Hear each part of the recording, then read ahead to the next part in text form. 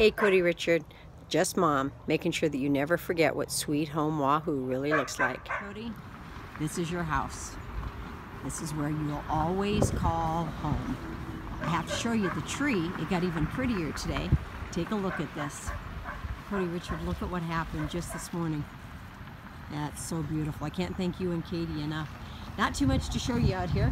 They're working on our yard, but we still have quite a few dandelions. But hopefully Mr. Tenepier will be able to take care of that.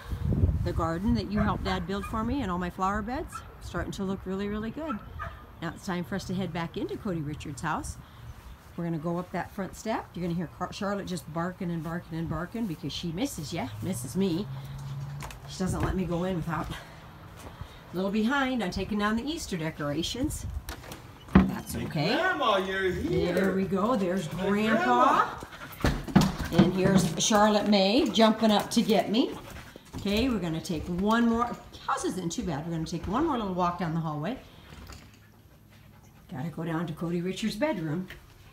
It's kind of messy because Dad's got clothes and Mom's got clothes that she's getting rid of. But this is your room, and it will always and forever be your room. This will always be home, Cody Richard. Your mom and dad love you so much, and we miss you so much, and we can't wait. In two weeks, we get to come and see you and celebrate your birthday. We love you, There's your dad. Whoops, there was your dad. I love you, Cody Richard. Love you, Cody. I'll talk to you tonight, okay? I love you.